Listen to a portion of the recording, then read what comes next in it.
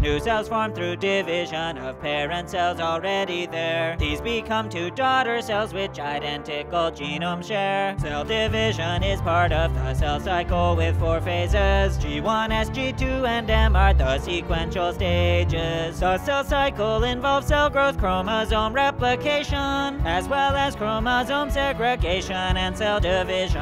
And put together, the first three phases are called interphase. The DNA and chromosomes replicate during S phase. Mitosis or nuclear division occurs during cell division. Mitosis has five stages which occur with great precision. The five stages include prophase, prometaphase, metaphase, followed by anaphase, and then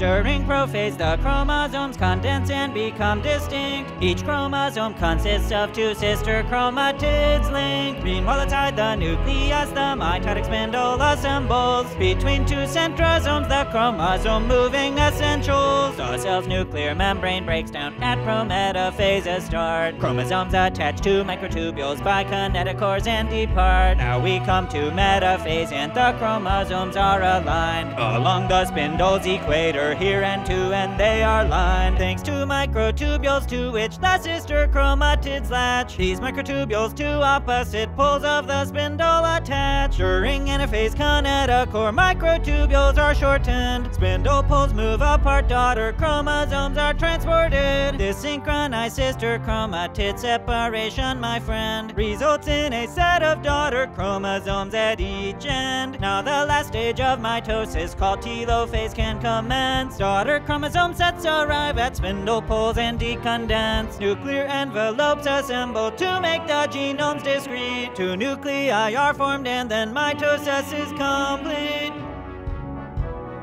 Next is cytokinesis, which is cytoplasm division. Initiation, contraction, membrane insertion, completion. Actin and myosin filaments a deep furrow create. This contractile ring is what gets cells to separate. The ring contracts and an intracellular bridge forms at the divide, made of cell membrane which intracellular vesicles provide. At the bridge's center, something called the midbody is found, where the interpolar microtubule leftovers still abound. Now packed in dense matrix material at the spindle midzone, abscission or final cleaving of daughter cells is shown.